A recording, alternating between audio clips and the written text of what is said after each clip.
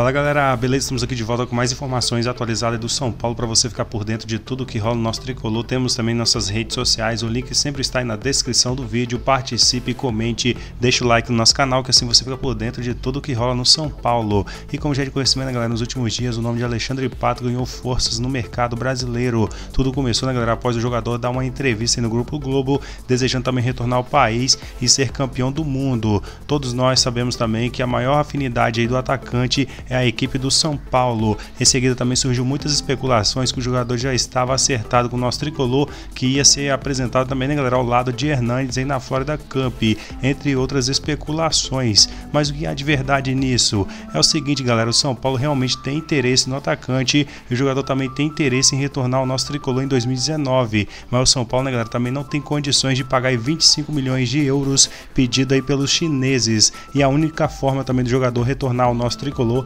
seria se ele rescindisse o seu contrato. Lembrando também, né, galera, que o clube vem passando por problemas internos, atraso de salários e a prisão também do presidente do clube e outras 17 pessoas. Na segunda-feira, também dia 14 de janeiro, o clube inclusive mudou o seu nome da equipe devido a esse problema e da prisão do dirigente. Nos últimos dias também, né, galera, jornais turcos e também italianos afirmaram que o jogador havia decidido em rescindir o seu contrato com o clube devido aos problemas internos, mas essa negociação, né, galera, é complicada da mesma forma, já que o jogador também é fluente aí no país, sendo também o terceiro jogador mais comentado atrás de Cristiano Ronaldo e Messi também no futebol chinês. Vale lembrar também, né, galera, que o Milan também monitora a situação do jogador, mas o que pesaria também o seu retorno ao país, né, galera, seria aí o seu namoro com a filha de Silvio Santos, informações que não são confirmadas, especula também que o jogador e a sua namorada têm o interesse de ficar mais tempo junto, né, galera, e com o retorno dele ao país, isso poderia acontecer.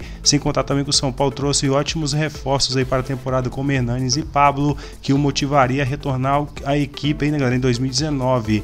Pato também teria que aceitar uma boa redução do seu salário para atuar no futebol brasileiro. Hoje o atleta também tem 29 anos e ainda tem mercado no futebol europeu e também no chinês. A negociação também só deve ser concretizada, desculpa, com o interesse do jogador, né, galera, em retornar à equipe do São Paulo e com a rescisão de contrato, já que o nosso tricolor não tem condições de pagar os valores pedidos pelo mercado chinês pela contratação aí do atleta. Então, né, galera, se o Pato realmente conseguir sua rescisão de contrato, há grandes chances dele retornar à equipe do nosso tricolor em 2019.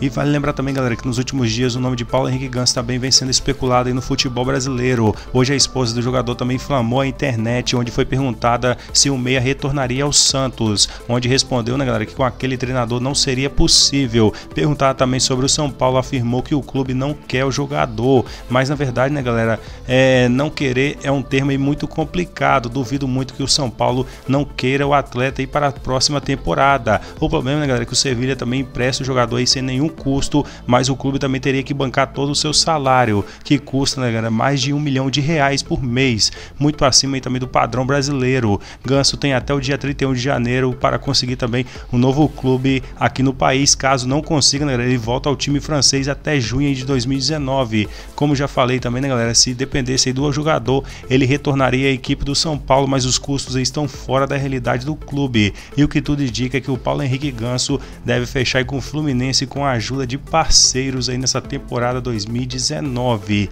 Bom, galera, espero que vocês tenham gostado desse levantamento feito aqui no nosso canal para você ficar por dentro das especulações do nosso tricolor. E tentamos também, né, galera, trazer informações atualizadas aí e também reais para você ficar por dentro de tudo que rola no São Paulo. Então, se você gostou, deixa o likezinho, comente sobre os assuntos e se inscreva no nosso canal, que sempre temos notícias do nosso tricolor. Forte abraço, fiquem com Deus e até a próxima.